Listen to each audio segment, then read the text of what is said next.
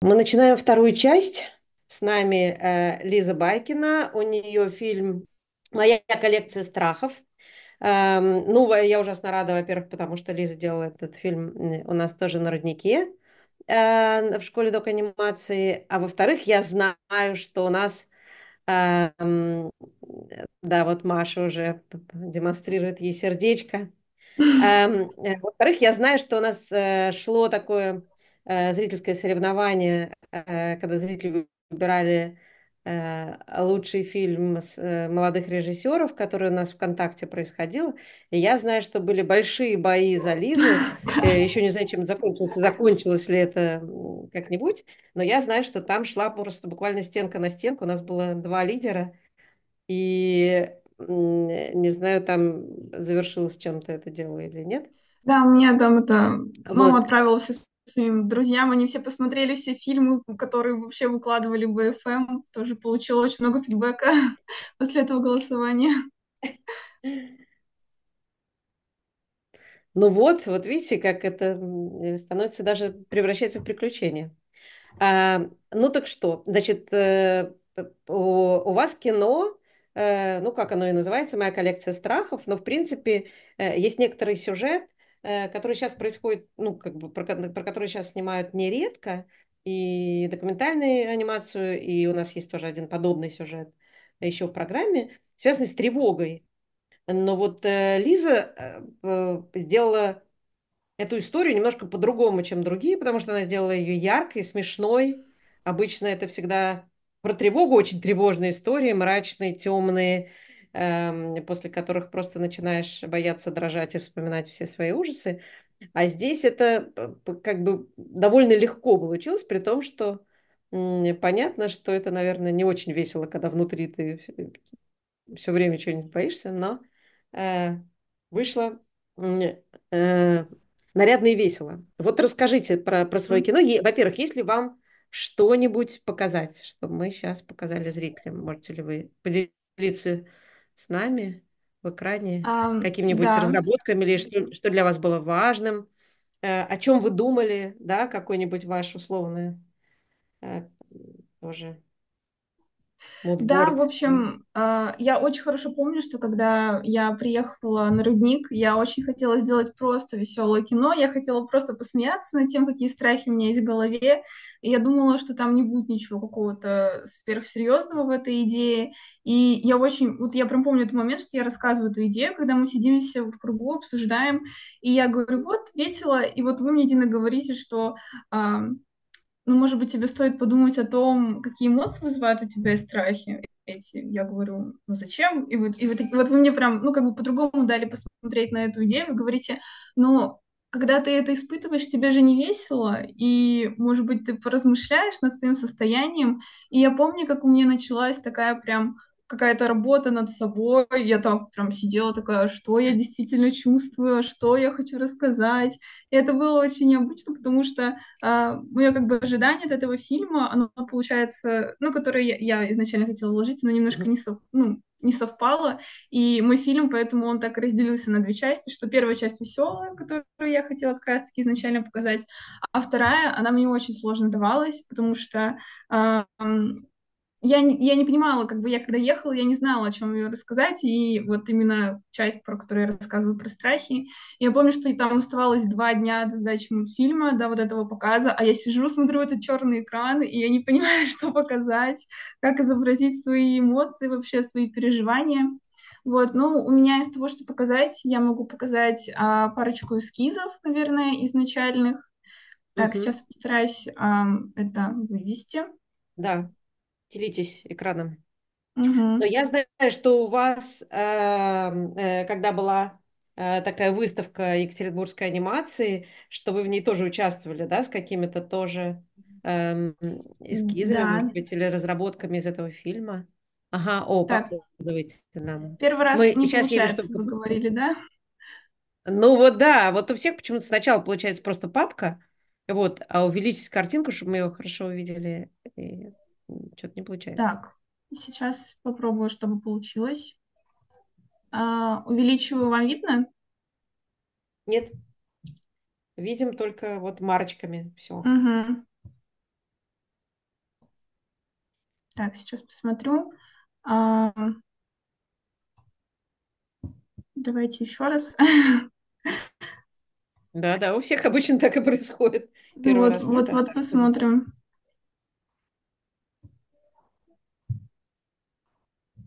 Так, сейчас должно быть видно. О, да. Сейчас видно, да. Да, ну, в общем, это кусочек эскизов. Я придумывала, как будет выглядеть моя героиня во второй части мультфильма. А, в первой части мультфильма она у меня вот такая, достаточно условно. Я очень Мгм. хотела сделать такую, ну, как бы закос на детские рисунки, что-то такое ненавязчивое, легкое. И поэтому во второй части, раз я уже серьезно там погружаюсь в причины страхов, я решила, что она должна быть как-то более конкретно нарисована, и это было очень сложно, отойти от этого детского стиля я уже настолько сильно к нему привыкла, и, и я поэтому несколько зарисовок так делала. А, из того, что еще могу показать, вот это, она в конце должна была быть печальной, и вообще концовка должна была быть такой достаточно, ну, не знаю, какой-то от, открытый. Ну, то есть я там изначально в конце говорила, что я не знаю, что с этим делать, и все. И, и, но потом я подумала, что не хочу заканчивать на чем-то плохом, как будто бы нужно на какую-нибудь надежду выйти. вот, поэтому я отказалась от этой грустной девочки, которая сидит просто на белом листе. Вот, и это изначальный эскиз, который у меня был. А сначала у меня вот на этой картинке девочка плакала слезами, а потом, сейчас я покажу конец сразу, не знаю, как это листать по, в обратную сторону, так. А потом у нее стало вместо слез кровь из носа, потому что э, я показала тоже, кажется, либо Жене, либо Маше э, свой, ну, вот этот эскиз, мне сказали, что недостаточно крови в мультфильме, Поэтому я заменила эти слезы на кровь из носа, что она его разбивает. Эм, так, ну вот тоже есть там такой постановочный кадр, э, кусочек. И, наверное, Мгм. сейчас... Ой, сейчас я То есть вы покажу... смешивали на самом деле рисование. Я помню, у вас был такой детский буквально альбомчик, Да, котором вы да. рисовали, и с какими-то предметными штуками. Ну, Вот как да, у здесь. меня там, получается, есть вот этот вот кадр с карандашиками, где они взаимодействуют, ну, у меня героини взаимодействуют с этими карандашиками, она их там, это все как Балюзина, то, что ее закрыли в комнате, в туалете, один из страхов, вот, и она пытается их растолкнуть, но вот у нее не получается. Я прям помню, как я перед, ну, в начале, перед тем, как э, придумывать страхи, я сидела на улице напротив школы, школы, где мы занимались, и я выписывала себе вот этот вот еще страхи, которые там я могу изобразить. У меня прям, если открыть блокнотик, у меня там, чего я боюсь, и там просто я потом выбирала, что конкретно можно взять. Вот, и думала изначально, что буду делать смежную какую-то, ну, штуку, то есть э, думала как-то что-то сделать рисованное, что-то сделать, наверное, эм, из пластилина, что-то сделать коллажное, но из-за того, что как раз-таки времени было мало, вот у меня были такие девочка вот из пластилина и, и страх. Вот, я решила отказаться от этой идеи, чтобы сделать поскорее. Ну, и из того еще, что могу показать, у меня потом, да, была выставка у нас в Екатеринбурге, и я показывала, эм, я сделала стенд к своему фильму, то есть у нас был стенд, и плюс еще показ мультфильмов, вот, и я его показывала на этой выставке «Случайная последовательность» от студии «Светлых историй». А, тут вот всякие штуки приклеила, вот там видно, как я это все Мгм. прорисовывала внизу, а, всякие мои фоточки тоже с того самого Свияжска. Мгм.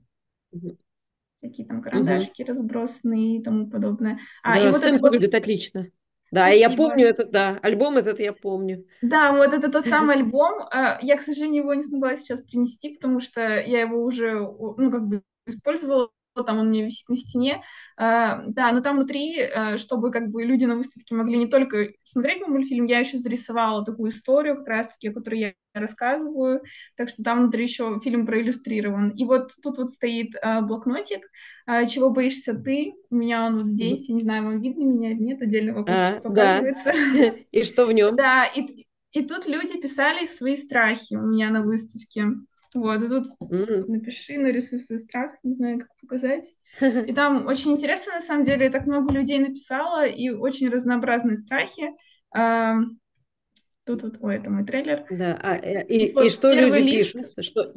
Мгм. вот, вот, буквально первый лист тут написано, я боюсь начинать блокноты, скетчбуки. Вообще первый лист меня пугает. Типа, боязнь белого листа. О нет, кажется, я все испортила.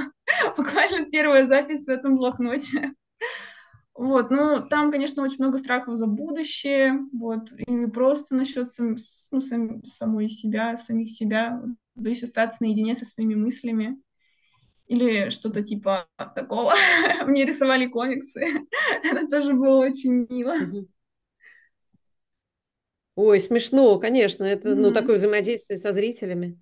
А скажите сейчас, вот эм, э, когда ВКонтакте шло, шли эти бои, и люди, ну ведь как-то они не просто это, они как-то аргументировали, почему все-таки, что их привлекает, что они говорили, они тоже боятся или почему? Вот как бы, почему Почему, им так вот почему голосовали за пришелся? А, а, ну, Ну почему, да, они выбирали, потому что им их что-то вот привлекало. да. Вот ч- как они это формулировали? Да, ну вообще я, я правда вот после этого голосования как бы получила очень много, очень много отзывов вообще, и после этой выставки тоже. И ну, очень часто, да, мне люди говорят, что они тоже много чего боятся, и эм, ну, даже у некоторых даже есть похожие страхи на те, которые я изобразила, но больше всего, наверное, я получала комментариев именно о том, что это какая-то очень личная история такая, как бы ну вот как раз-таки, о чем вы говорили перед этим, что документальная анимация, личная история, и что им нравился, ну, нравилась подача мультфильма, что вот это сначала какой-то детский рисунок, а, что-то такое забавное, веселое, а потом как бы с таким, ну, углублением каким-то, что, ну, картинка нравилась, что стиль какой-то чувствуется, чувствуется вот рука, что это что-то именно авторское, вот так. Мгм.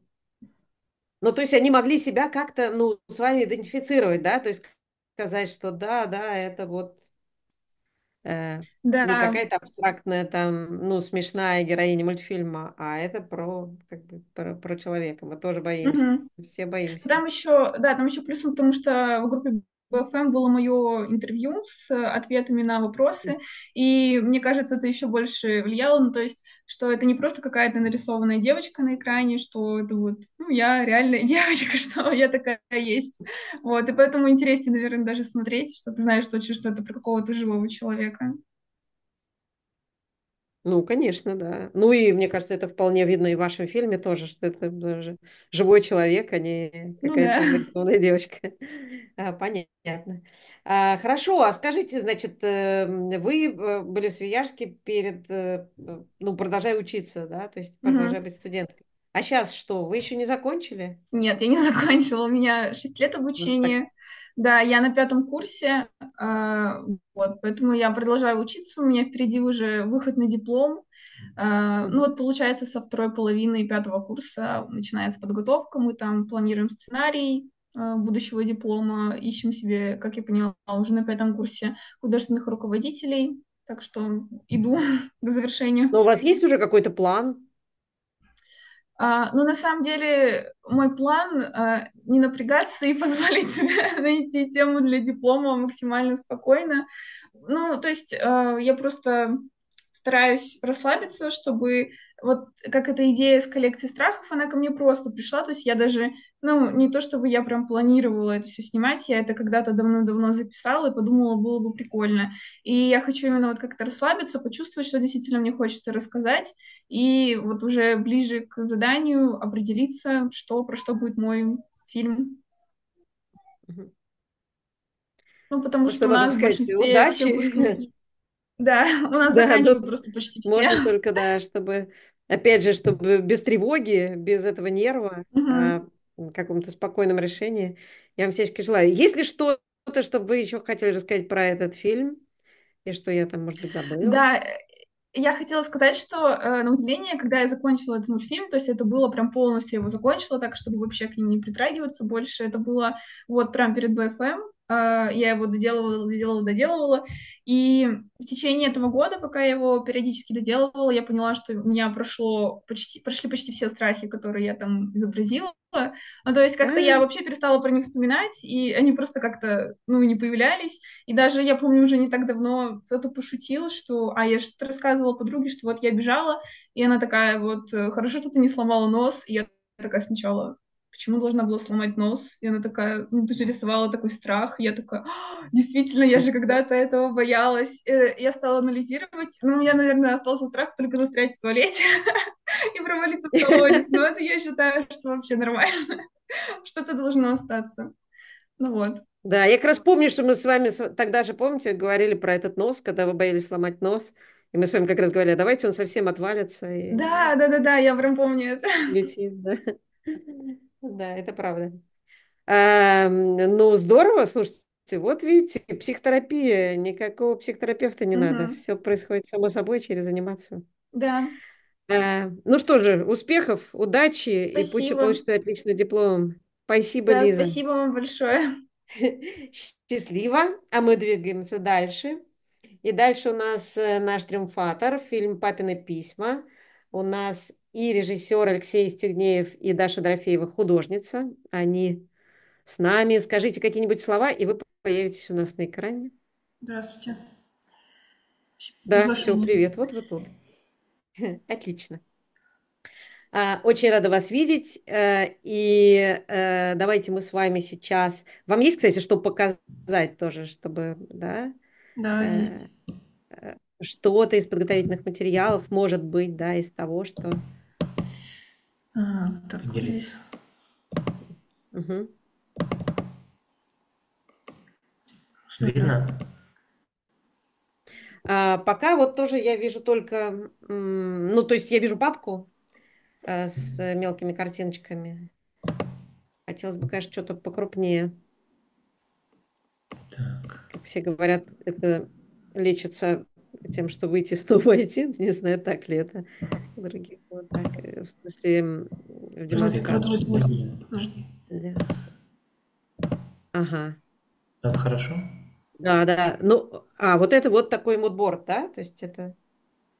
Это мы собрали просто в такую доску письма и рисунки главного героя, реально существующего человека, на которые мы ориентировались. Тут и гербарии, и рисунки, и зарисовки натуральные, натурные.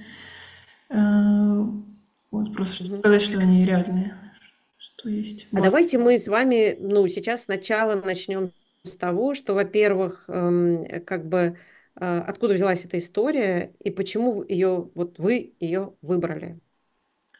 Да, история началась э, с 2019 года, когда мы попали на выставку в музее Щусева, которая называлась «Засушенному верить», где через э, гербарии, через семена, пророщенные в разных местах бывшего Советского Союза, Э, рассказывалась история о э, политзаключенных э, разных эпох, от декабристов и до наших дней.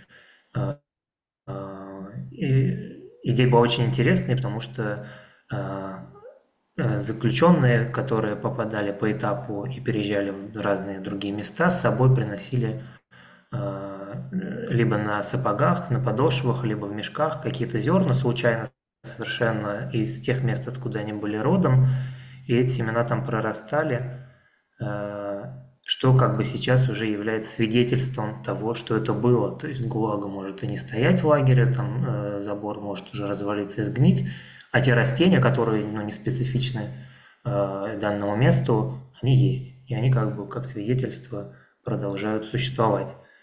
Вот.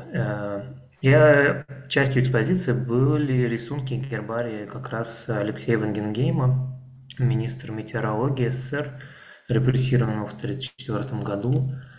И нас очень зацепило э, то, что эта история отличалась во многом тем, что в ней было не столько факт. Ой, это вы показываете, не мелькайте, пожалуйста, так сильно, мы не успеваем. Я, да, извините, я просто искала... А, а его, понятно.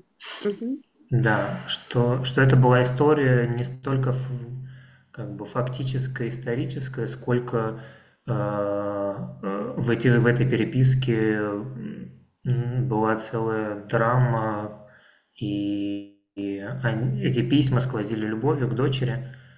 А, и мне показалось, что эта история, а, она может быть актуальна и трогательна в любое время и могла бы происходить э, где угодно, но произошла в 30-х годах. И образ как-то сам э, нашелся с этими засушенными листьями, с письмами. И мы решили делать э, анимацию на эту тему. А расскажите, пожалуйста, вот как бы чуть-чуть раньше, Леша, у нас, во-первых, был ваш э, фильм эм, в программе до этого, еще были эм, теперь папины, а тогда были мамины, да, были мамины волосы. Э, тоже документальная анимация была в программе БФМ м, пару лет назад, да? Но правильно ли я понимаю, что как бы изначально э, вы не э, как бы анимационный режиссер, тогда еще, по крайней мере, были из ВГИКа, или я что-то неправильно поняла? Я не очень понял вопрос. Э, Вопрос на самом деле состоит в том, эм, какое было у вас изначальное образование, которое, когда вы начали заниматься документальной анимацией. М. Да, я режиссер-документалист по образованию, Документалист. Но в последнее время занимаюсь э, и анимацией, и игровым кино.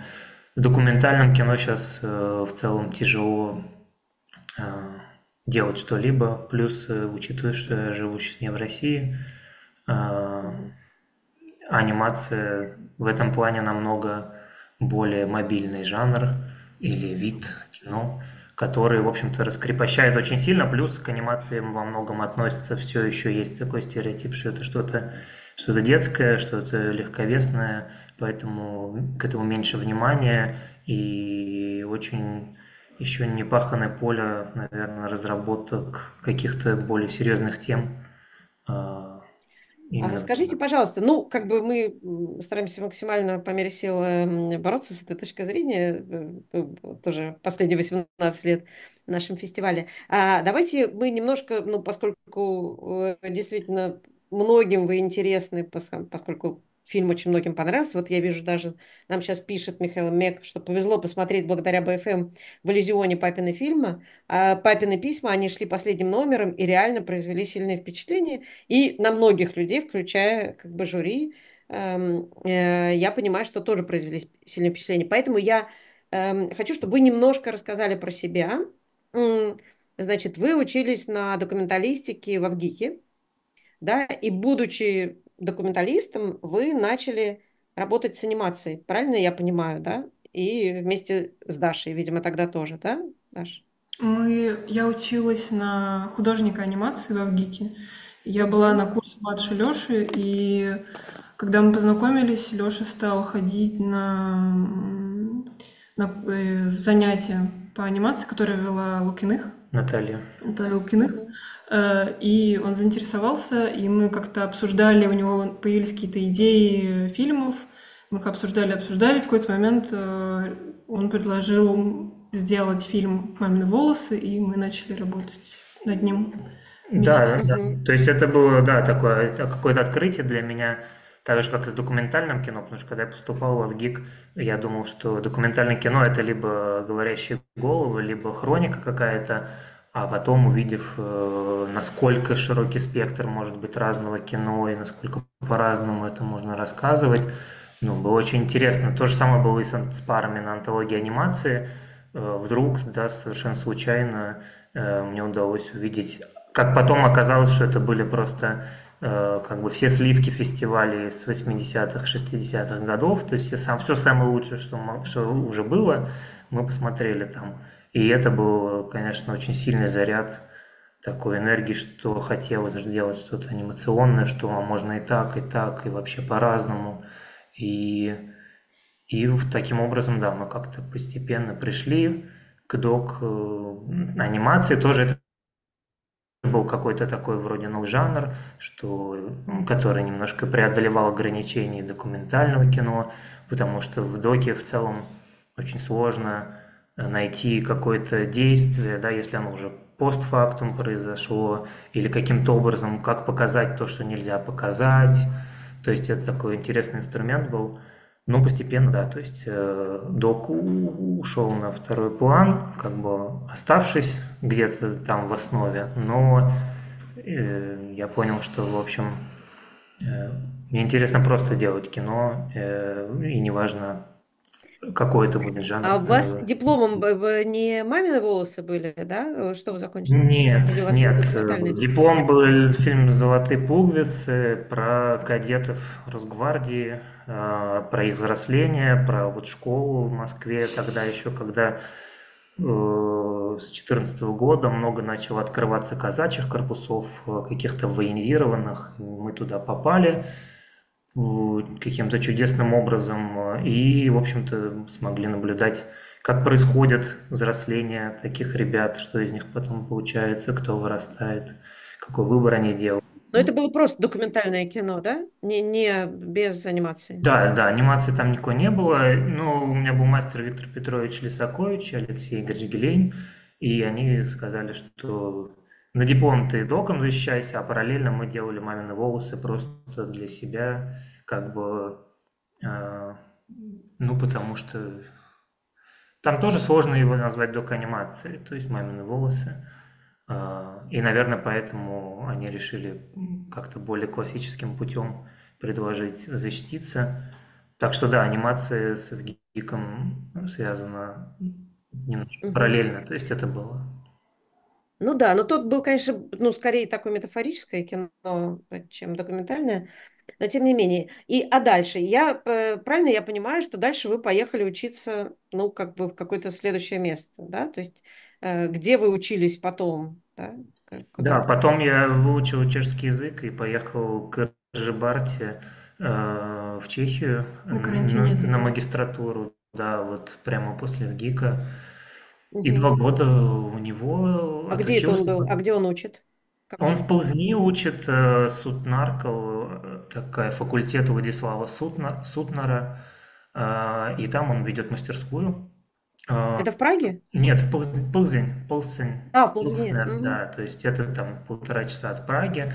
И в этом плане это интересный факультет, потому что он более свободен э, в, магистра... в выборе магистратуры, чем ФАМу, потому что ФАМу э, обязанность э, как бы магистранта сделать э, фильм анимационный, но связанный с э, фикшеном.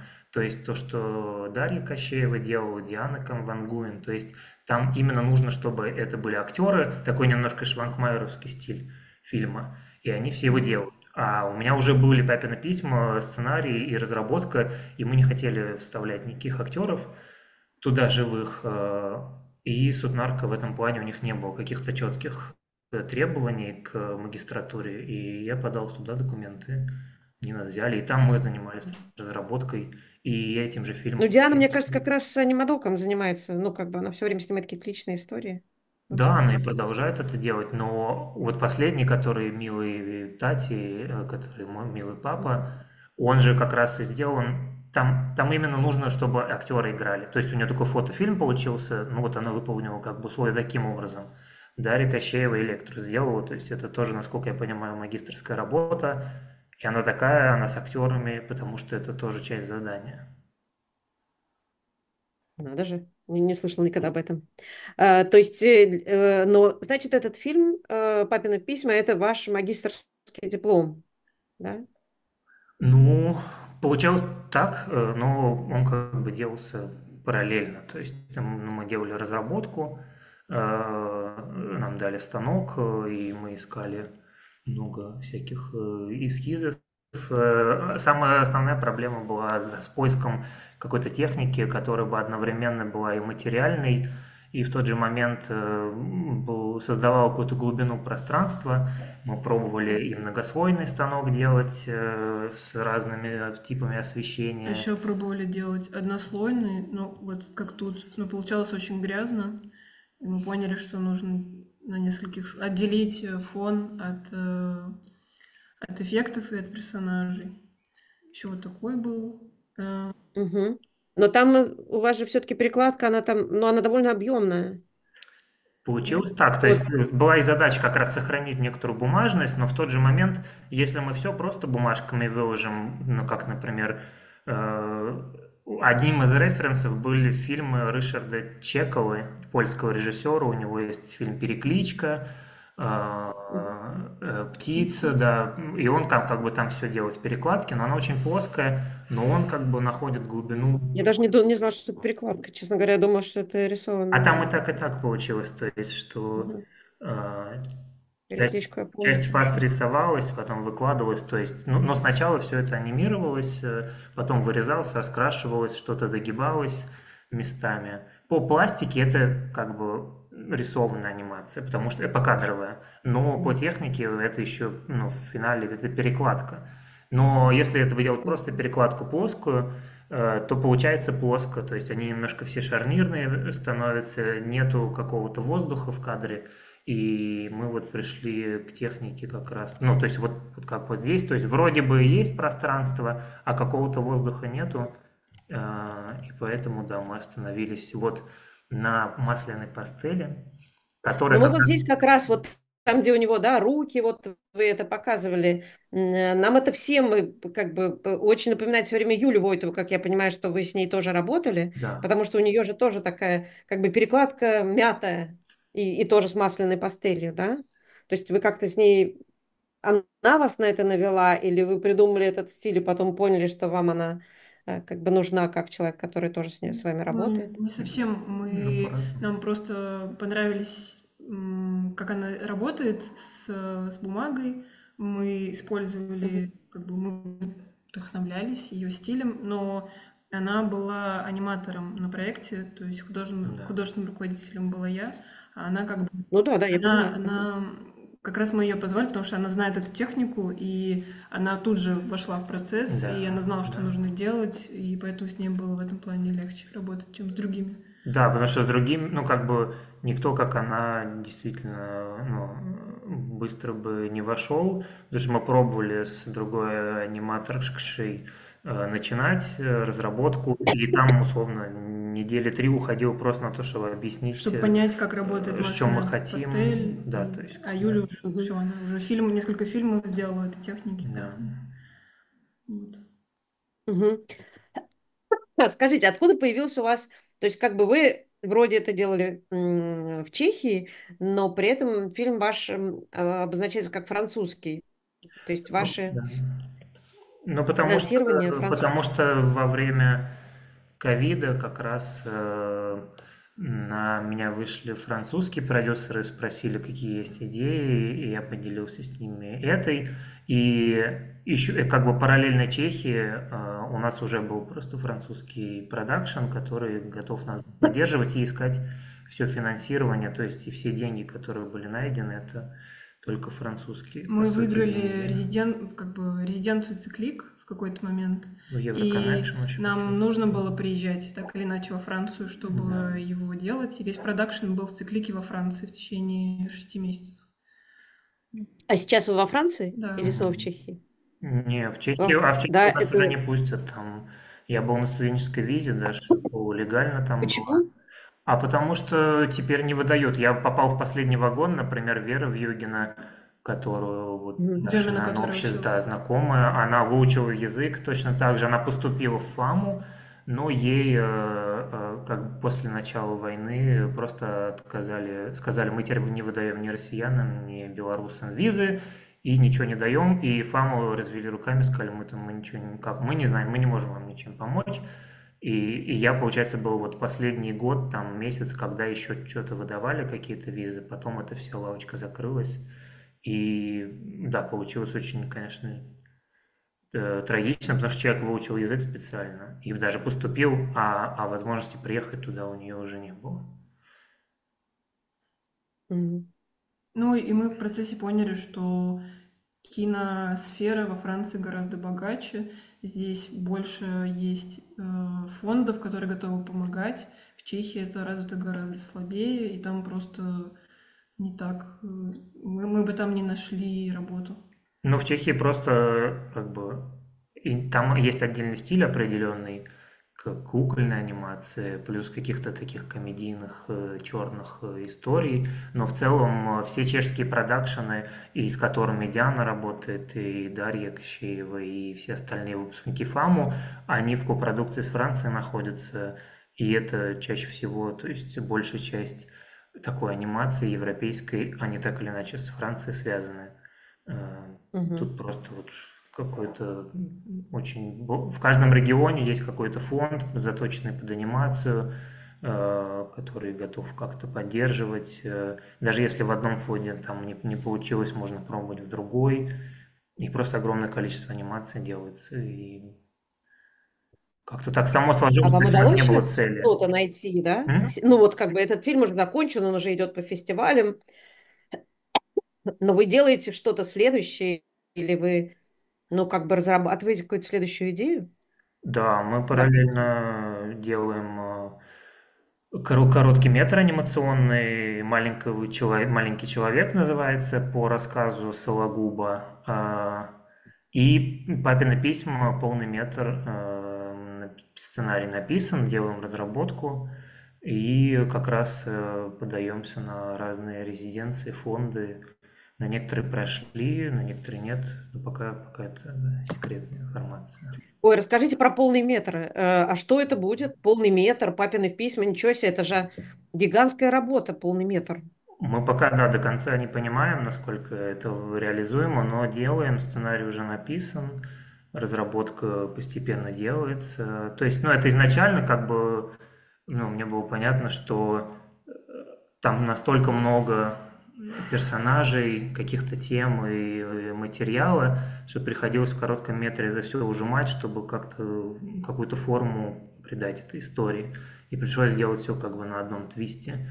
А, а полный метр это уже такая расширенная тема, то есть всей этой истории, которую мы тоже бы хотели. А у вас много материала, ну как бы с которым вы э, работаете? Кто у вас? Вы писали сами сценарий?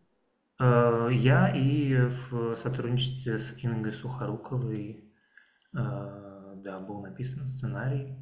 Сейчас пока вот его дорабатываем, но в целом, то есть, да, уже есть текст, уже есть персонажи, есть все арки продуманные.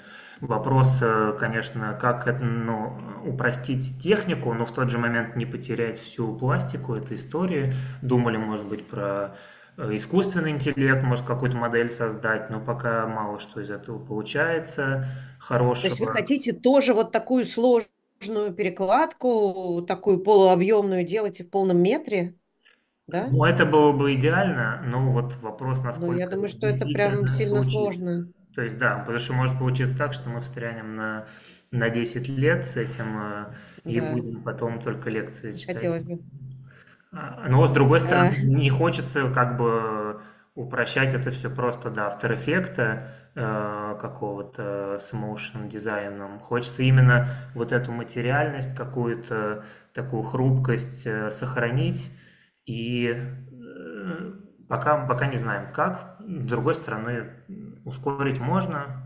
Вопрос, как обычно, все упирается в финансирование. Угу. А откуда у вас взял, ну как бы вот что за материал у вас идет на целый полный метр? Э, вы сами, э, есть ли какое-то произведение, или вы сами просто работаете в архивах с материалами, связанными с Ванингеймом или с, с этим временем? Как ну, бы, ну мы же, я же с 19 -го года это все собираю, все эти документы. И как бы линия основная это вот э, тот же, тот же самая коллизия, да, то есть, что Венгенгейма арестовывают, и, но он решает дочери не рассказывать э, правду, где он находится. В каком-то смысле история разворачивается в обратную сторону. Если, например, в папиных письмах в коротком метре мы как бы э, постепенно узнаем, где он находится, э, то есть ну, немножко находясь как бы в такой как бы, структурной иллюзии, что а может это что-то магическое место, потом нет ГУЛАГ, то в полном метре история разворачивается наоборот, что он попадает в ГУЛАГ, но постепенно э, как бы создает и для себя, и для дочери такой фантазийный мир, э, все больше и больше перебираясь в него, и себя спасая, и ее тоже. Плюс параллельно идут линии от Шмидта, его друга, который едет э, на, на Челюскине, плюс э, параллельные персонажи, которые, ну, но в целом так или иначе... Мама, начальник лагеря. Мама, да, то есть которой тоже предстоит сделать выбор, э, потому что, ну...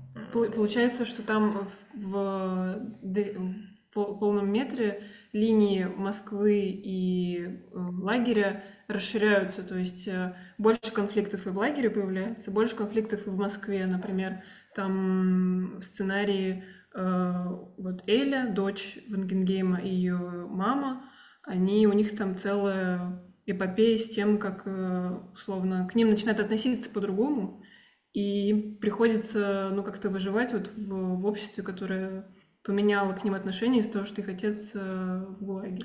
Ну да, то есть они сначала были номенклатурой, а потом вдруг в один момент, э, потеряв все, оказались по другую сторону как бы системы, которую они не видели. То есть, и...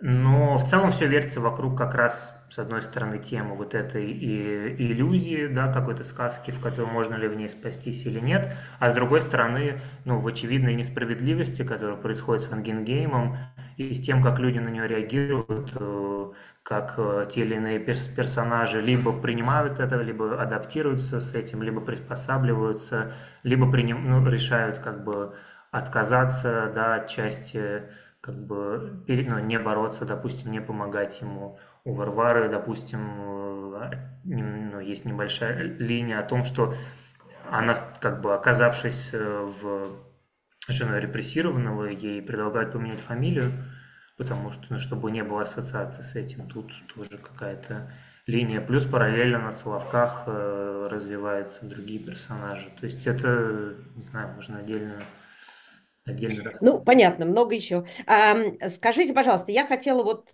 Эм, одну вещь, это, собственно, даже не мой вопрос, а вопрос кого-то из моих коллег, кто пытался разобраться и пытался, пытался понять, что все-таки означает то, что э, в лагере у него вместо елок или, я не знаю, там каких-то, э, стоят такие огромные деревянные, ну, такие одуванчики становятся огромными деревьями.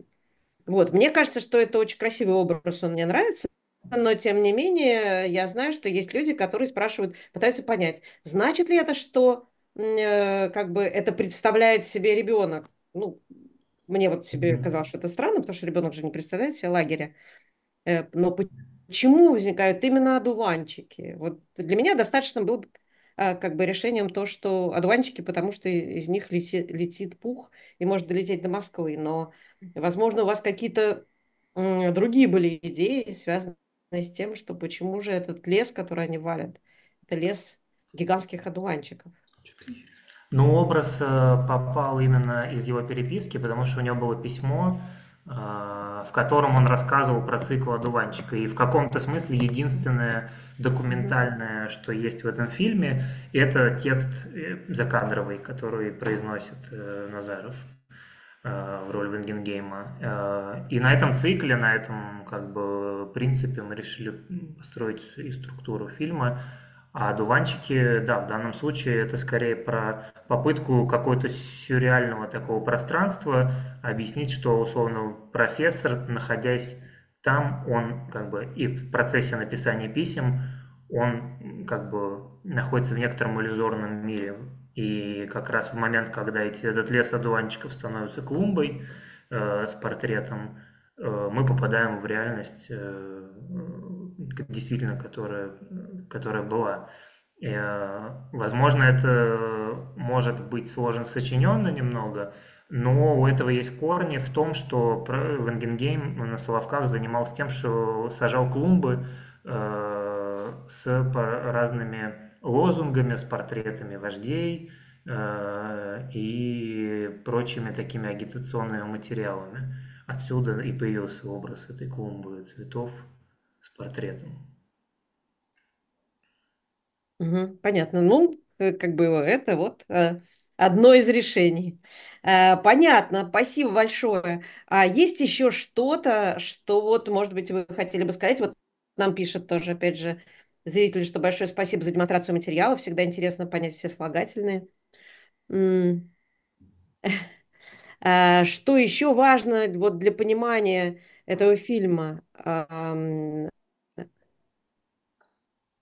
Скажите, кстати, вот эта вот э, картинка, которую вы нам показываете с одуванчиками, это историческая картинка его и, или да. это вы делали сами? Нет, это вот все, что это на этом слайде, это все копии, сканы писем, все слова, все картинки. Да, то Это есть его. мы в мемориале сначала искали эту сканы, ну, архив, видимо, сейчас где-то в другом месте находится, но Чехии. фотографии, да, сканы остались, и вот мы ими пользуемся. То есть мы сначала плясали вот в сторону того, может быть, это что-то листики на бумажке Мы будут вообще на хотели, мы вообще хотели ре- реальные высушенные листья анимировать, но мы поняли, что это будет... Вот тут это они нереально, они от, от- ксерокопированы, но мы поняли, что это будет нереально, и надо чем-то заменять эти листья. Ну, и они не пластичные просто, они Мгм. рассыхаются. Да, они бы хрупкие, конечно, Да. они бы разваливались бы. Да, то есть как что-то там в After Effects получал, получалось, но такого, такой, таких каких-то перспективных изменений, как вот э, с бумагой, просто нельзя было сделать.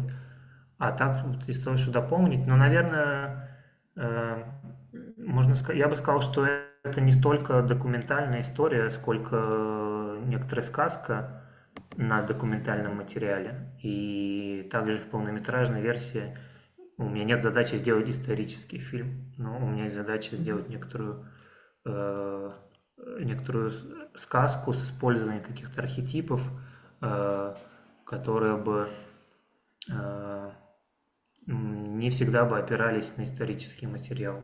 То есть задача скорее в выражении фантазийного мира, чем помогает анимация, чем попытка э, делать какой-то байопик э, про Алексея Вангенги.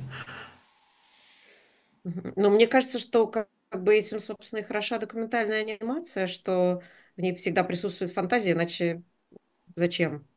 Она позволяет какие-то э, документальные вещи, отталкиваясь от реальности, как бы что-то такое на нее сверху на- надстраивать какую-то фантазийную историю. А, ну, я вам очень желаю, чтобы у вас все получилось. Э, Я понимаю, насколько сейчас это все непросто.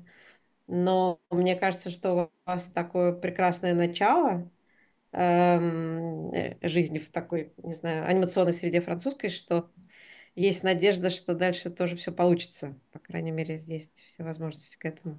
Спасибо большое. Да, спасибо вам большое, и фестиваль, на самом деле, большое спасибо, что и что фильм показали, и что не было никаких э, проблем, потому что, да, сейчас как будто бы это требует много смелости и мужества э, прямо говорить и Ну, вообще делать что-либо, что, что хочется делать.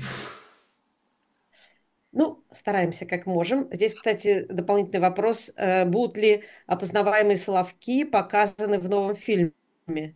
Или там тоже будут фантазийные М, словки? Ну, в полном метре будут, но, Ага. есть, потому что там есть время, да, об этом рассказать. Но в полном метре останется идея э, реального мира и вымышленного мира, о котором отец Вангенгейм рассказывает своей дочери. Там это останется. То есть там будут волшебные сады, э, Да. тропический лес, но будет реальный лагерь. Но мы ездили на Соловки в 2021 году, какие-то собирали материалы, и пытались что-то о Вангенгейме узнать, посмотреть, где он вообще жил, потому что там тоже Соловки разными были. Э, В какой-то момент это был лагерь, где заключенные свободно гуляли, где была э, своя типография, свой театр и так далее, а уже к 1937 году его сделали тюрьмой, и Вангенгейм как раз застал этот момент, когда, то есть сначала он был в свободном полете, как бы только в рамках архипелага, потом их заключили совсем в крепость только, а потом уже свезли на Сандармох и, расстреляли.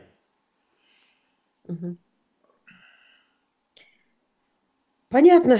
Ну что же, э, я вам желаю удачи. Пусть все у вас будет отлично, все сложится с полным метром, а также с коротким. Спасибо. Да, спасибо большое. Свидания. Спасибо. А мы двигаемся дальше. До свидания вам. А мы двигаемся. Анна Хорошка, э, фильм «Спасибо, мама». А, Этот фильм сделан, как я понимаю, тоже на эм, Energy Injection, да, то есть на интенсиве Лизы Скворцовой. Аня, подайте голос, и тогда мы вас увидим. Меня слышно? Да, слышно, а теперь вот и видно. Эм, Расскажите, пожалуйста, вы были на каком интенсиве? Сейчас Лиза делала подряд несколько интенсивов. Вы были А, на Я том? была, я была в Екатеринбурге в июле, тоже Energy Injection. Вот. Ага. А вы были в Екатеринбурге, потому что вы на самом деле в Екатеринбурге учитесь анимации или просто вот туда приехали из? Нет, там так получилось просто, что была возможность. А, Я учусь э, в Авгике в Ростове-на-Дону. Э.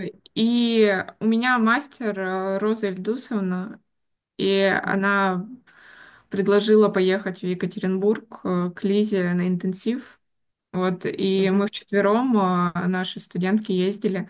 Вот вчера можно было Юлю увидеть э, на Мгм. интервью, ну, точно так же, как и Розу Ильдусовну тоже можно было увидеть с ее Да, да. фильмом. Вот, и мы там делали свои мультики, да. Не, ну это отличная возможность сделать за короткое время прямо целое кино. А, скажите, пожалуйста, у вас очень трогательная история. Эм, откуда она как бы пришла к вам, как она возникла? Э, я у всех спрашиваю, эм, зная, как это Лиза делает, какое слово было для них э, таким, э, разбудило это воспоминание или эту мысль сделать этот фильм? Что для вас было? У меня это было слово, я вот специально на самом деле всп- вспоминала слово «рука».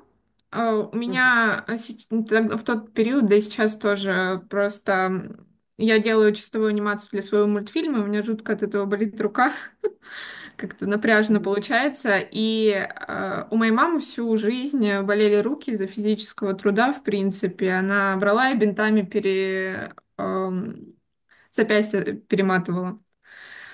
И э, у меня это как-то наложилось одно на другое, и я подумала, что было бы классно сделать мультфильм про маму. Я вообще изначально действительно думала это как-то связать вот э, с образом рук, но э, это отошло немного на второй план, и осталось просто визуально, что там мелькают часто планы рук.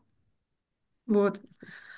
А, а так, в целом, я давно хотела сделать мультфильм про маму. Мне хочется об этом говорить как-то не в таком формате, как я это сделала сейчас. Это вообще было очень неожиданно и для меня тоже, и странно. Вот. А почему Э, странно? Да не знаю, как-то... Вот это то, что вы говорите, трудно м, рассказать свою личную историю и не пытаться вызвать у людей жалость. Мгм. Просто, ну, у меня вот э, очень было неловко все время, пока я делала эту работу, было неловко и потом, и, ну, такой дискомфорт какой-то накладывается. То есть вы не, не вполне удовлетворены или вас смущает ваше кино? Ш- ш- Что? Что именно? Но, наверное, смущает, да. Меня смущает, что я вообще об этом заговорила. Но это, это тоже смело для меня, как бы это был большой шаг э, личностный, и это привело к э, определенному взрослению. Вот. А мне кажется, это очень важно, потому что, ну, это не то, чтобы такая история, которая никогда не бывает. Бывают разные причины, поч- почему люди маленькими э, вдруг стесняются своих родителей, а потом вдруг оказывается, что на самом деле это самое главное и было, и что они тогда не понимали из, ну, по каким-то причинам, Ну, что... вот э, в плане своей истории, на самом деле, вот что меня больше всего вызывает дискомфорт, что она получилась как раз-таки о стеснении, хотя на самом деле я даже маленькая очень э, грамотно это в себе прорабатывала, и у меня всегда было двоякое отношение ко всему этому. А в фильме как будто бы это не в должной мере проявляется, но и, мне кажется, если бы я это пыталась проявить, то не получилось бы так гладко всю историю сложить, тем более всего было 10 дней, и я старалась найти какой-то способ, чтобы сделать все максимально быстро и чтобы была цельная картина. Вот так. Ань, вы можете показать э, что-нибудь? Есть ли у вас что-нибудь, какие-нибудь? А, Я могу только Вот, показать э, скриншоты из фильма, потому что э, у меня не было других материалов. э, Слишком быстро вы шел фильм. сразу рисовали все, да, Да, в планшете? э, Ну, если я вам просто покажите, а если нет, мне кажется, что какие-то картинки наверняка есть и у нас, если мы можем их показать. Ань. а сейчас видно? А, вот, да, видно. Ага, Так. да, А, пельмени или, ага. там что-то, пирожки, не знаю, что это. А, ну да, картинки. Я просто хотела еще, наверное, про вот это сказать немножко. Это э, ни- никто не поймет просто это по фильму. Она мелькает буквально как пейзаж. Но мне просто нравится, что получилось вписать туда маленькую частичку, такую это реальный план из моего э, поселка, в котором я жила. Там есть центральная аллея, на которой растут акации. И эти акации, они настолько сильно разрослись, что фонари между ними, они не светят на аллею, они светят только между этими деревьями. И получается такой образ, что фонари свою функцию не выполняют, а выглядит скорее как потеряно как-то. Вот. И Мгм. Вот А так. скажите, там в некоторых местах мне казалось, что у вас есть буквально или просто цветные детали, а мне казалось чуть ли не реальные. Да? Это не реальные ц- листочки, А Это реальные листочки. Все, что которые цветное, вы... это коллажные Ага, элементы. да-да-да. Вот мне и показалось, что там какие-то коллажи. Ага.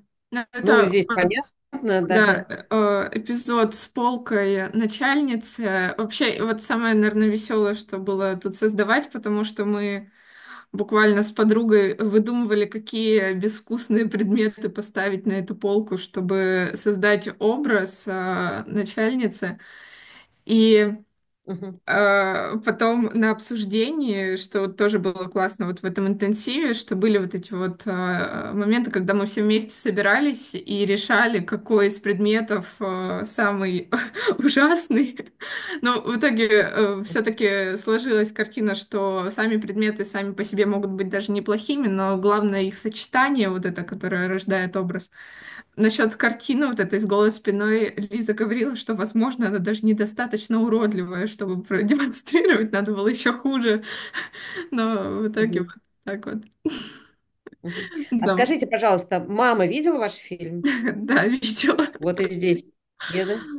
И что сказала ваша мама? Вот что интересно. Ну, да. ам, ну, первый раз, э, когда я ей скинула его, как только мы закончили, она знала, что я поехала на интенсив, но я не говорила, что за фильм я делаю.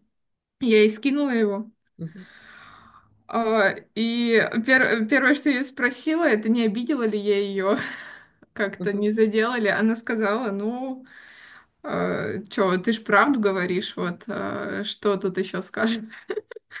Но мне кажется, что все-таки задела, потому что где-то через неделю она мне в 4 часа ночи, а в 4 часа ночи это значит, она лежала, думала, у нее была бессонница, она мне написала, а, к- она мне написала, как я должна была закончить мультфильм. Ну, э, и там была фраза что-то вроде «все профессии важны». Вот, э, вот так надо было. Ой, ой. Мне кажется, что вы трогательно закончили. Все, Спасибо, мама. А что еще тут можно сказать? Да. Эм, ну, я надеюсь, что все-таки это не, не то, что ее прямо действительно сильно обидело, потому что мне кажется, что вы сказали там гораздо более важные вещи для нее. Да, конечно. Что... Ну, ей потом еще говорили, ой, какую ты дочку воспитала, вот это вот все. Но она показывает. Поэтому я думаю, что все в порядке. Ну, я тоже надеюсь, что это никак ее не обидит, потому что на, на самом деле, мне кажется, кино очень трогательное получилось именно в этом смысле и, и в том, что вы признаете это. Это, мне кажется, важная история, что вы как бы вам эм, вы не постеснялись это сказать. И, и это на самом деле круто и важно. Так что, если что-то, скажите, что это кино совсем маленькое, мы говорим о нем дольше, чем оно само длится, поэтому э, если, может быть, что-то я не заметила или что-то забыла, э, э, скажите мне, что было в этом Да нет, фильме. все в целом. Э, Спасибо вам большое, что позвали. Спасибо вам, и что вы так терпеливо ждете. У нас последние дни всегда сначала э, все тянутся, а потом, естественно, всех много. Эм, Получается долго, но зато мне важно, чтобы каждый смог рассказать про свое кино. Ой, Это очень Спасибо здорово вам. и ценно. Да. Аня, мы двигаемся дальше.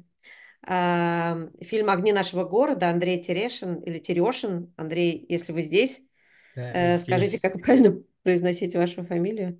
Ой, я по паспорту Терешин, но по жизни я Терешин. И вот кому верить, я не знаю.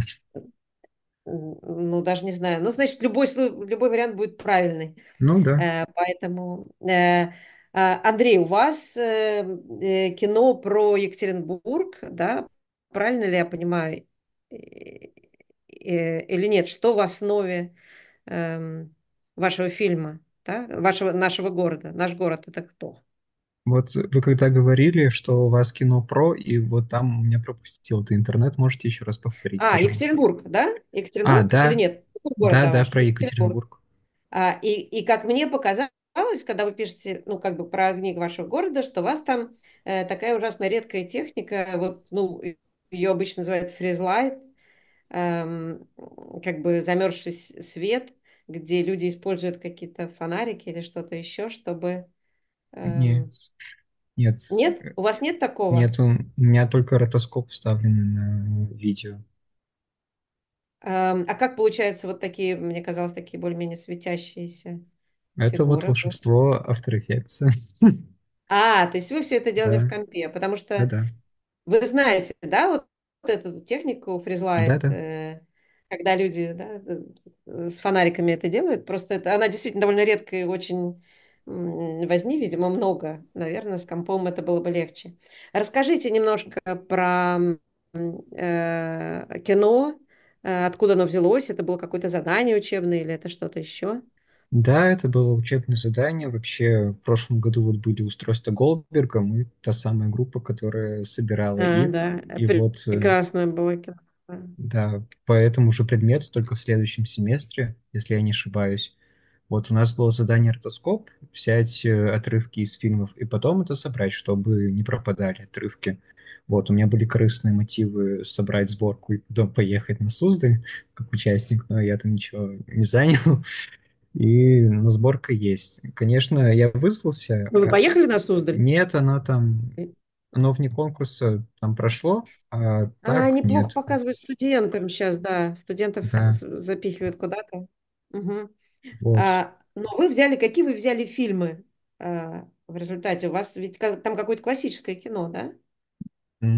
Да нет. Ну, т- Нет? ну, я взял, например, Миронов там танцует перед музыкантами из Ну да. «Бриллиантовой руки». Там Ну, начале, классическое кино. А что же да, это не классическое, что ли? «Бриллиантовая ну, рука» да. сто лет назад.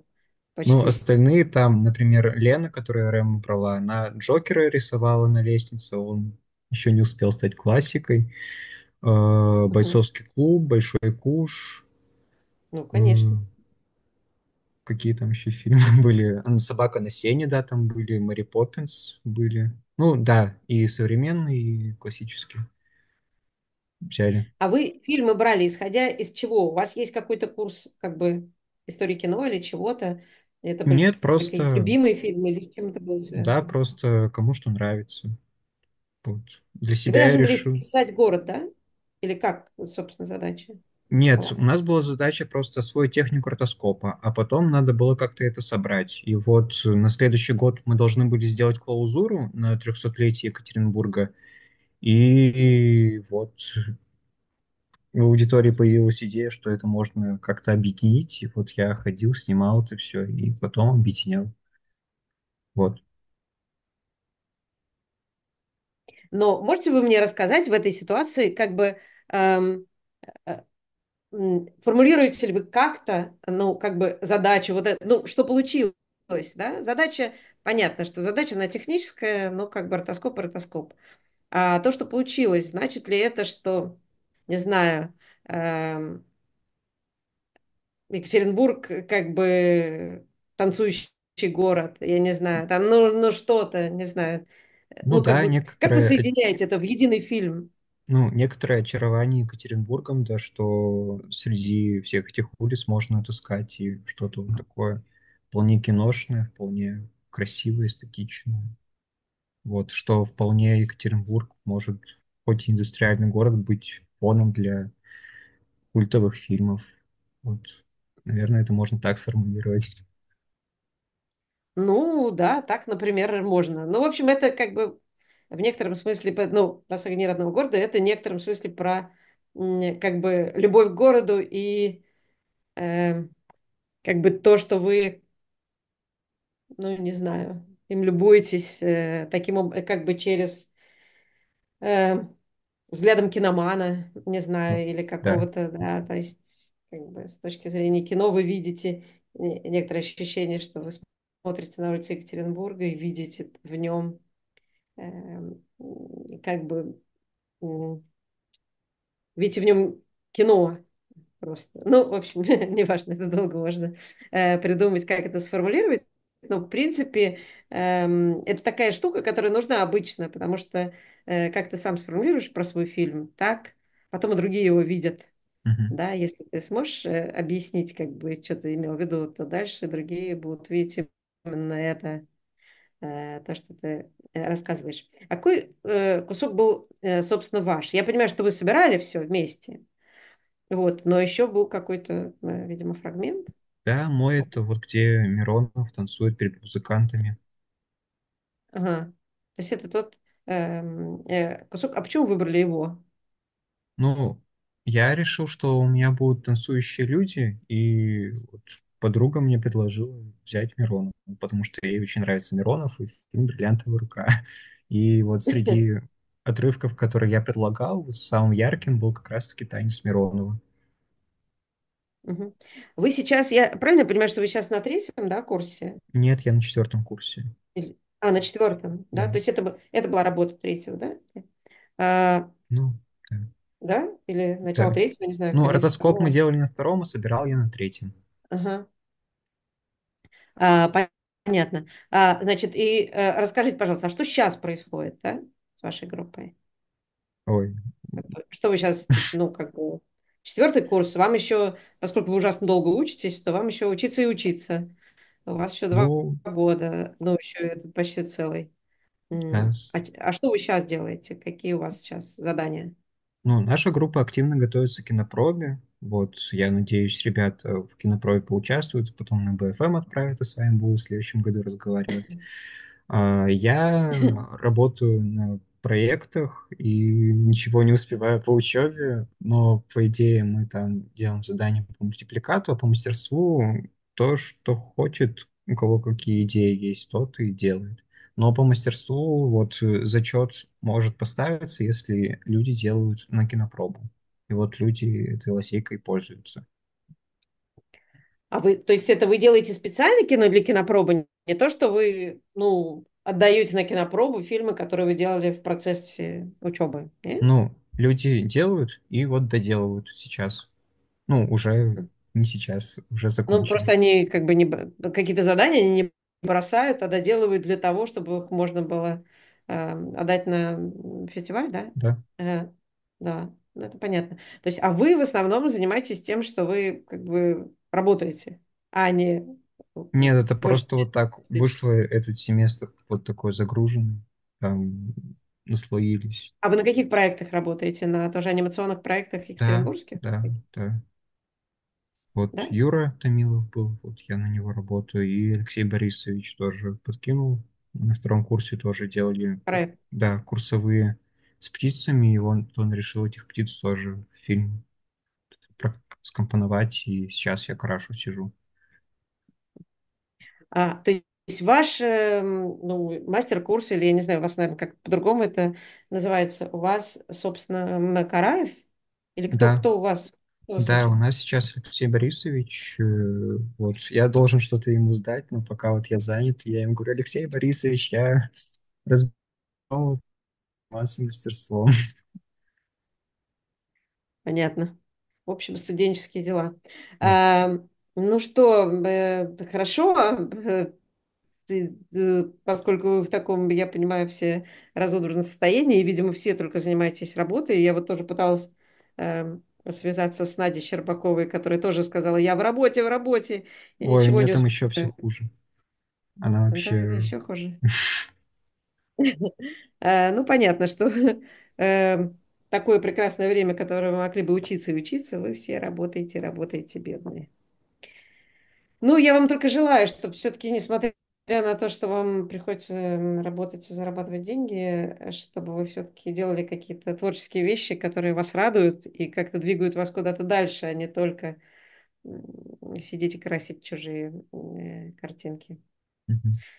Эм, Так что, если вам есть что-то, что еще интересное, можно сказать, про этот фильм, то скажите.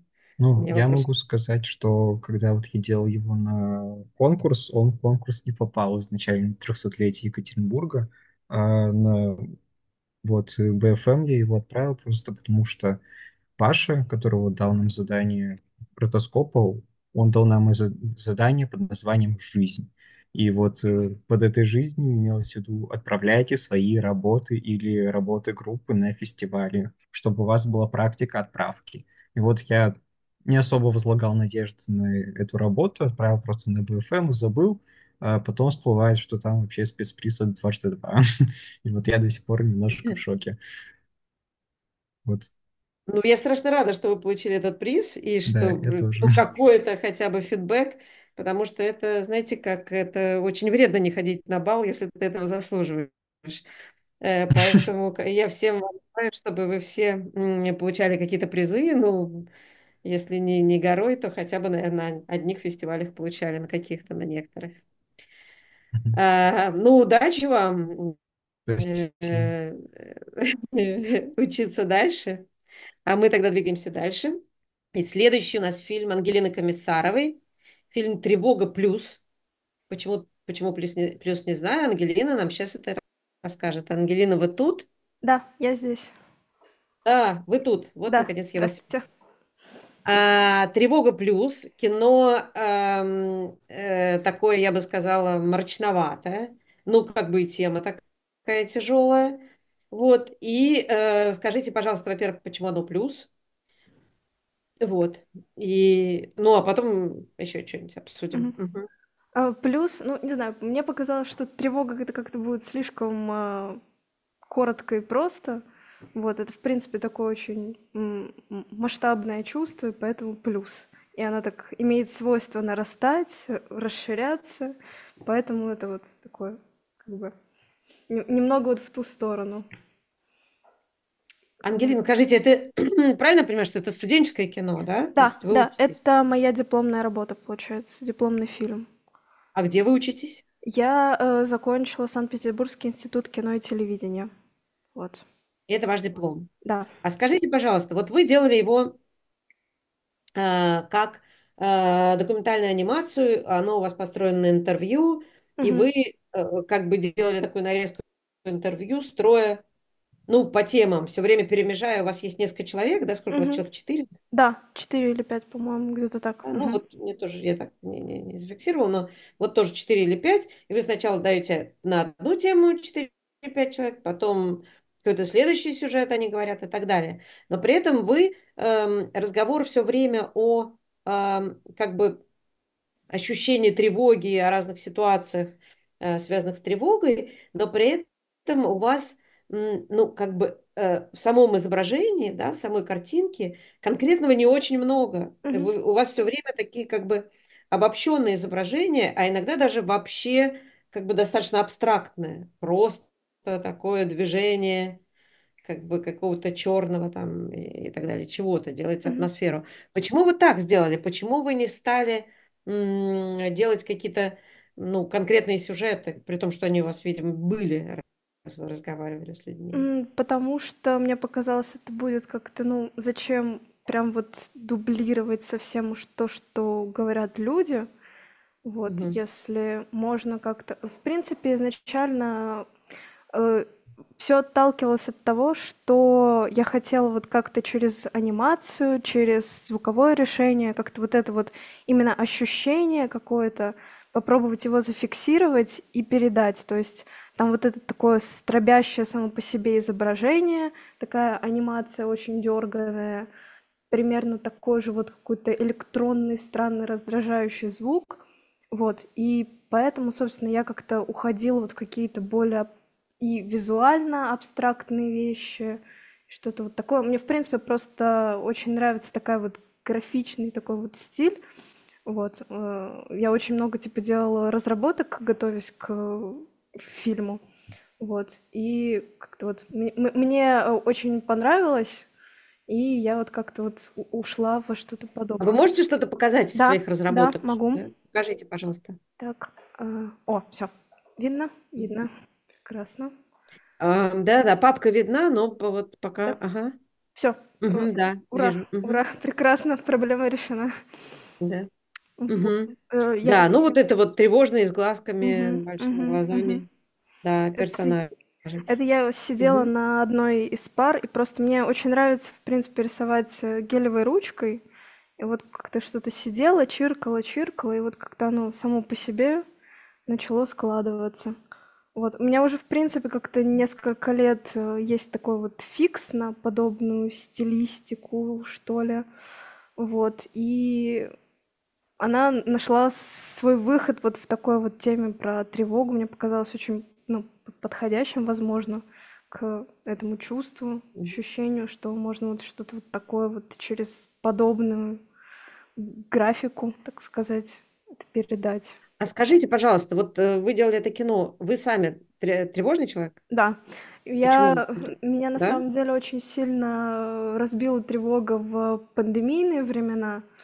Вот. Мгм. Потом э, определенные события в мире и прочее тоже очень сильно ударили. Вот. И в какой-то момент, где-то вот подходя к, как раз к диплому, я уже обратилась и к психотерапевту, мне поставили тревожное расстройство, вот, и так разбирая эту тему, я поняла, что у меня на самом деле с детства проблемы с этим есть, то есть я с детства так как- как-то тревожный человек довольно сильно, вот, и это во многом еще с работой с самой собой, то есть какая-то сублимация определенная, наверное, вот. И в целом, ну, такая тема актуальная была. Э, Очень много мы с друзьями тогда общались, и тоже все жаловались. И в пандемию это тоже все, конечно, было про страхи, тревоги.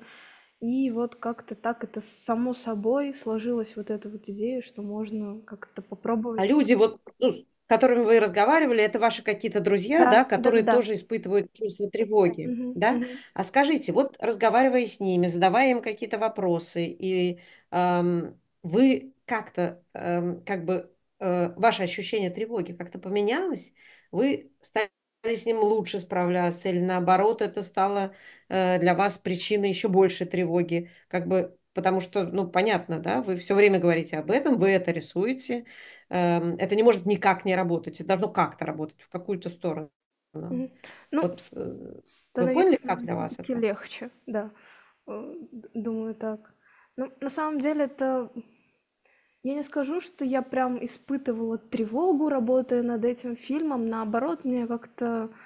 Ну да, это принесло облегчение, то есть как-то в какую-то форму облечь э, вот это вот чувство, Мгм. ощущение, рассказы других людей, что ты не один, и как бы вот а, один из таких э, посылов, наверное, в том, что вот как раз это такое... а, Очень, очень многие с этим сталкиваются по жизни. В принципе, тревога и тревожность это такое, ну, по- полезная штука, но иногда бывает, что это переходит определенные вот границы нормы, и это становится для человека проблемой. Вот. И я помню, как э, на защите диплома у нас то есть, происходит показ в институте, и туда приходят э, люди, вот, и я помню, что я не ожидала на самом деле такого э, ответной реакции получить, и очень многие как бы отметили, что здорово, что вот такую тему затронули. Э, Многие, кто там из моих друзей, например, видел потом этот фильм, тоже говорили, что это очень знакомо для них, кому-то вот сложно именно было вот это вот как-то понять э, или, не знаю, прожить или что-то вот подобное, что как бы этот фильм как-то им, ну, помог в этом слегка. Вот. То есть это все-таки чуть-чуть как терапия Мгм. работает. Да, да? видимо, да. Я вот такого, такой реакции я прям не ожидала. Вот. Понятно. Ну, интересно. Скажите, есть ли что-то, что я опять же не спросила? Мне кажется, вот вопрос, который мне были, я задала. А, ну, А, вот а, единственное, что про еще изобразительное решение, я изначально так. хотела вот как-то что-то подобное сделать, но у меня просто не хватало времени, поэтому немножко вот такой вот Ну, решила отказаться от подобного. Так, может быть, я бы сделала это не на компьютере, а вот вживую, что называется, на бумажке. Вот. А так... А вы в результате все делали на компьютере, да? Да, я все делала на компьютере. Разработку я делала э, компьютерной мышкой. Вот, то есть даже не графический планшет иногда был. Потому что, ну, не знаю, мне очень нравится, как э, рисуя таким способом, э, ты немножко теряешь контроль над всем этим процессом, и он так само по себе это идет. Угу, интуитивный. Понятно. Да. Вот. Что еще можно сказать? Ну да, и посыл фильма, что вот э, я в принципе столкнулась, э, когда даже предлагала эту идею на диплом э, в институте, что ну как-то она так очень скептично при принялась, и в целом есть такая тенденция, мне кажется, в, обществе, не знаю, у чуть более старшего поколения людей, что вот тебе говорят просто нервничай, просто успокойся. Вот. Э, это так, к сожалению, не работает. Это более такая иногда Да, легко штука. сказать, да, я понимаю, что вот. От и тоже успокойся, ты не успокаиваешься. Да, это такой дополнительный был стимул не бросать это дело, вот, mm-hmm. и закончить этот мультфильм как-то вот ну, если это работает, дай бог. То есть, по, по меньшей мере, это должно работать для вас. Но если это еще работает для кого-то, э, кто смотрит этот фильм, то тем более... Очень, э, очень, очень надеюсь, что удача. кому-то, кому-то вот он отозвался. Ну, по крайней мере, до меня доходили какие-то вот отзывы, что... Да. Помогли. Да. Ну, иногда сформулировать проблему э, это уже как бы шаг к ее решению. Угу. Все так. А, хорошо, спасибо большое, Ангелина. Вам спасибо эм... большое за такую возможность. Я вообще не ожидала, когда мне написали э, о том, что я попала на большой фестиваль. Я не успела подать заявку. Вот, и в целом, э, вот когда нас уздали, меня взяли в программу, но нас показывали как-то вообще в онлайн-формате до открытия фестиваля. Я очень-очень сильно да, расстроилась. Да, вот. И, а потом, а, по-моему, Шведов написал, кажется, статью о фильмах и тоже отметил там мой, фи- мой, мой фильм. Вот, и это прям очень приятно, и спасибо вам большое за такую возможность. Э, спасибо вам. Э, надеюсь, что дальше у вас все будет хорошо, и у вас будут какие-то сюжеты еще не такие тоже тревожные. Э, будете работать с разными темами, не все они будут печальные. А мы сейчас двигаемся дальше. У нас Евгения Горда, фильм «Частично», Женя делала этот фильм э, э, у нас на, э, в Свияжске на э, школе документальной анимации. Э, Женя, правильно ли я произношу вашу фамилию, которая для меня новая? Нет, неправильно. Горда, но ничего как? вам. Горда? Да, здравствуйте. Ну, Всем я привет. буду знать, я же не могу так. Э, горда, значит, горда. Отлично, по-французски на последний слог. Женя, я знаю, что вы уже как бы двинулись дальше, несмотря на то, что вы приехали к нам в прошлом году в Свияжск абсолютно новым человеком для анимации. Э, теперь уже вы посчитаете эм, почти профессиональный человек. Вы успели сделать диплом с использованием анимации, где сами анимировали, начали рисовать там и все такое.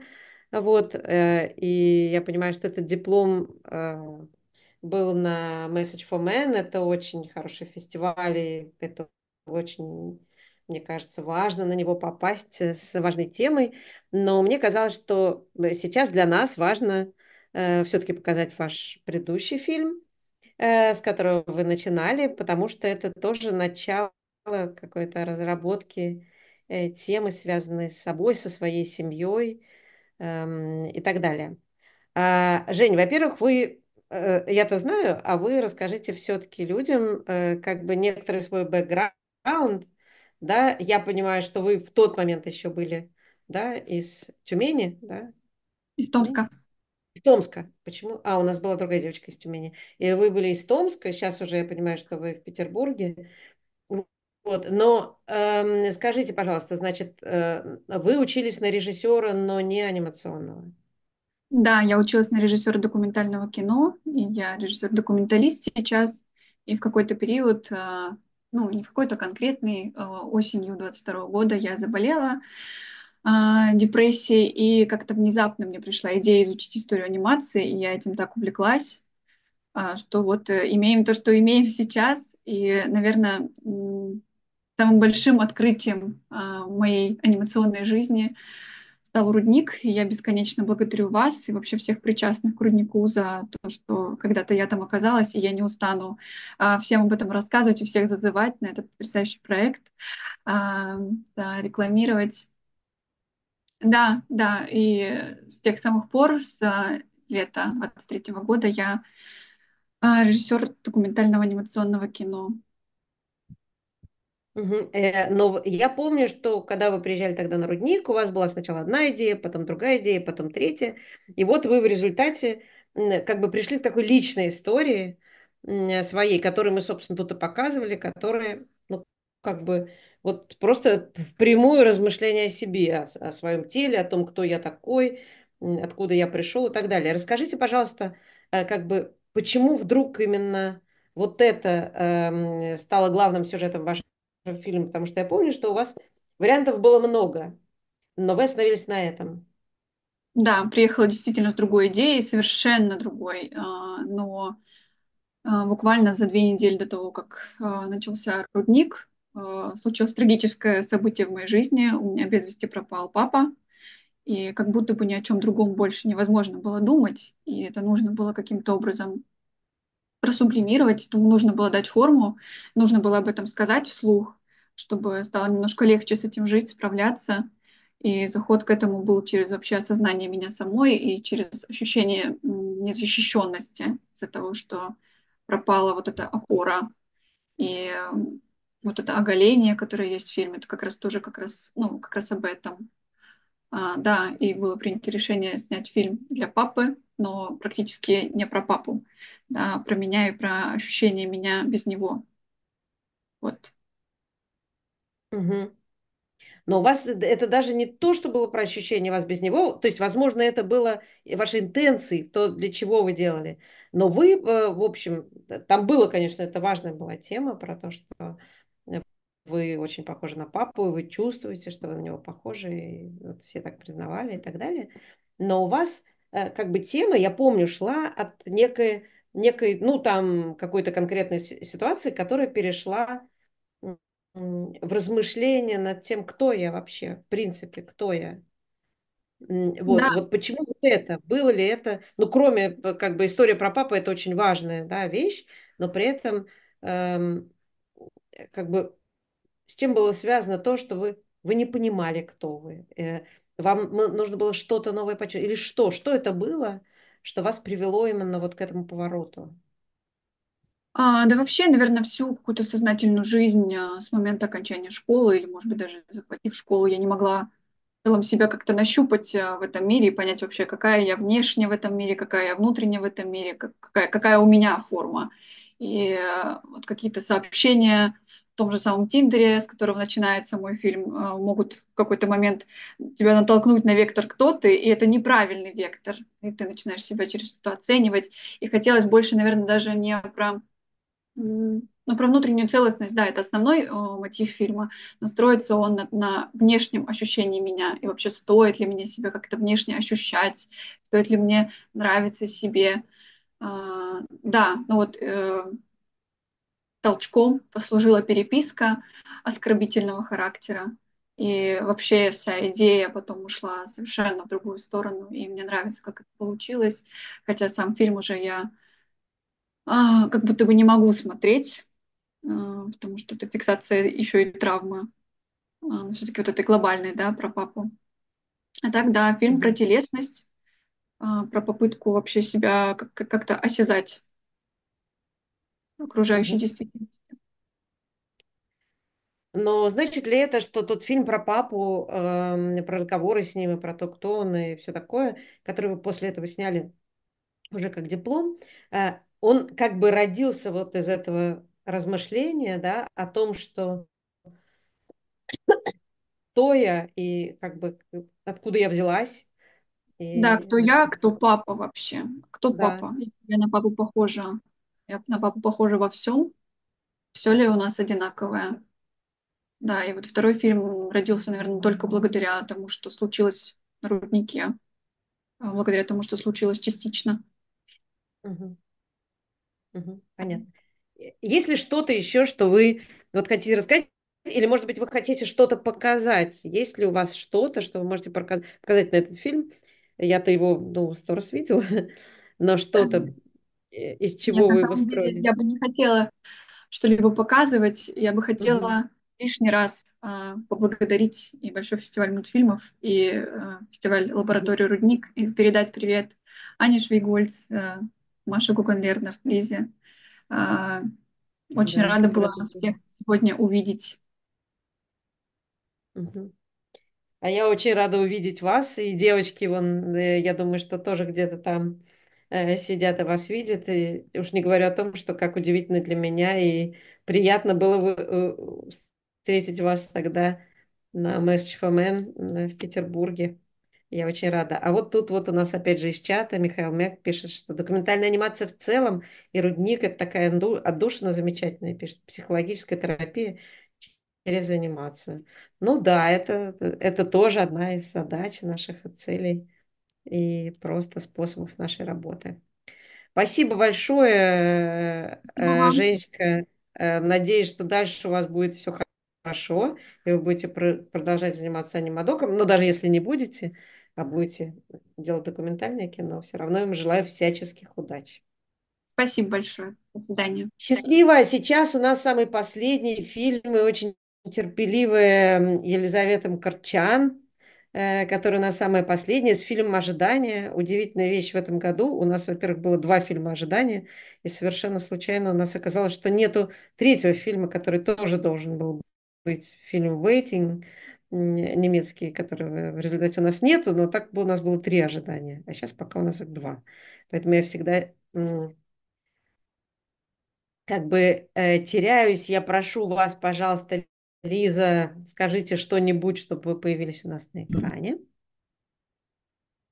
Да, а вот я вас вижу наконец. Так, Вы- я надеюсь, что меня слышно. Слышно? Да, вас слышно и вас видно. Эм, Супер. да, мы видим вас. И, эм, значит, первый фильм «Ожидание», которым э, вчера, это был фильм, сделанный пластилиновый э, в школе эм, э, Сергея Меринова. А этот фильм рисованный, правильно я понимаю? И правильно ли я понимаю, что А. вы его снимали в Вышке, да, в Высшей школе экономики? Да, все верно. Это фильм, но он наполовину рисованный, наполовину он в стоп-моушене сделанный, соответственно, из э, различных Да-да-да, предметов там нач- он собран. Расскажите немножко про это кино, или если у вас есть возможность, чтобы что-то еще вы показали нам. Есть ли у вас какие-нибудь там подготовительные материалы? А, показать, показать мне, к сожалению, нечего, потому что этот фильм Если довольно быстро у меня получился. Да, э, ну вот все, кто делают в интенсиве или просто быстрое кино, всем оказывается, что все идет в дело, и ничего отдельного показать нельзя. А, Но я хотела бы попросить, вот Ну Вика, вот да. которая занимается, может показать, э, по крайней мере, кадры из фильма, да, что, чтобы люди вспомнили. А, Расскажите нам, пожалуйста, а, про это кино, откуда возникла идея, потому что э, это кино такое, я бы сказала, что это такой этюд, э, эм, наблюдательный очень, и, это э, как бы такое просто, э, там нет такого внятного сюжета, чтобы сначала середины, а концом, э, а, а это скорее э, такой этюд наблюдения, э, как бы некоторое ощущение. Эм, расскажите, может быть, как-то я неверно это понимаю, или что было для вас эм, э, задачей, почему А, Нет, вы все верно понимаете, правильно. А, Это просто была моя работа студенческая, получается, у второго курса, в конце второго курса, и перед нами стояла задача сделать анимадок, а, анимадок о каком-либо месте. Вот, э, и мне просто в голову буквально первая мысль, которая пришла, это было сделать анимадок про аэропорт. Просто по той причине, что я сейчас, ну, я бы сказала, что я живу на два города, между Москвой и Екатеринбургом, и я из-за этого очень часто, ну, вынуждена летать туда-обратно, с учебы домой, из дома на учебу. Вот, Поэтому это была буквально, ну, первая мысль, которая пришла мне в голову. И, возможно, из-за того, что это был такой порыв, у меня очень быстро получилось его сделать. У меня э, было буквально несколько проб, наверное, анимации в стоп-моушене. Вот, э, просто чтобы посмотреть, э, как вообще с ней работать, потому что до того момента я с стоп-моушеном работала, может быть, единожды. Вот.